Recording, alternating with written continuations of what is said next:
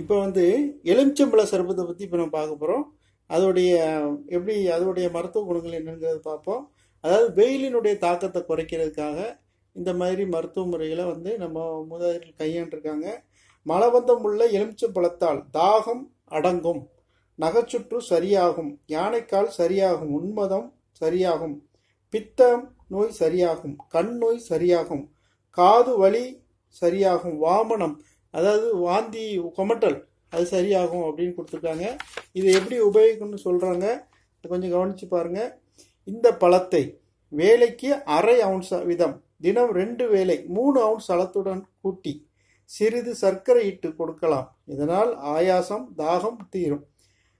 அம்மையினால் நேர்ந்த தேக வெப்பு அடங்கும். இரத்த போக்கை நிறுத்தும்.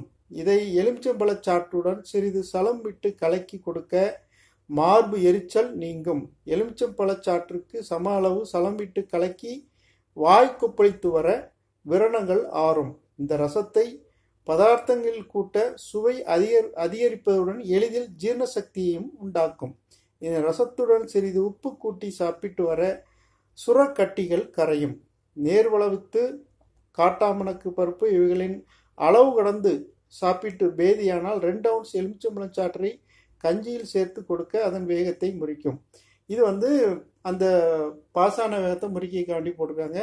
இப்போ நம்ம எப்படி சாப்பிடணும் அப்படின்னு பார்த்தீங்கன்னா அரை அவுன்ஸு எலுமிச்சம்பழ சாறில் மூணு அதாவது தினம் ரெண்டு வேளை மூணு அவுன்ஸ் சலத்தில் கூட்டி சிறிது சர்க்கரை கூ கூட்டி சாப்பிட சொல்கிறாங்க இதனால் ஆயாசம் உடம்பு ஹீட்டு பித்தம் இது போன்ற பல வகையான உஷ்ண நோய்களை வந்து சரி பண்ணும் அப்படின்னு பதிவு பண்ணியிருக்காங்க. அது போக என்னென்னா வெயிலினுடைய தாக்கம்.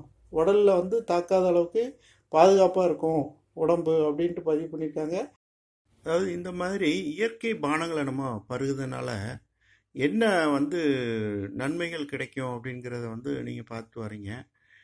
அதாவது நமக்கு மட்டும் இல்லை நம்ம உடலுக்கு மட்டும் இல்லை நன்மை அந்த விற்பனை செய்யக்கூடிய விவசாயிகளுக்கும் பல வகையான நன்மைகள் ஏற்படும் அப்படிங்கிறத நம்ம மறக்கக்கூடாது.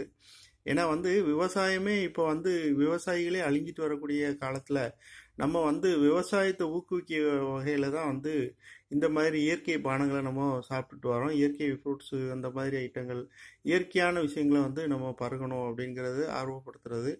இதனால் வந்து ஒரு அந்த விவசாயியுடைய குடும்பம் வந்து விளக்கேற்றி வச்ச ஒரு நன்மைகள் உங்களுக்கு கிடைக்கும். அதனால தயவு செய்து கண்ட கண்ட குளிர் பானங்களை சாப்பிடாம இயற்கை பானமான இந்த மாதிரி பானங்கள் பழ ஜூஸுகள் இந்த மாதிரி உள்ள ஐட்டங்களை நீங்கள் எடுத்துக்கிட்டீங்க அப்படின்னீங்கன்னா நம்ம நாடு வளம் பெறும்ங்கிறது உண்மை.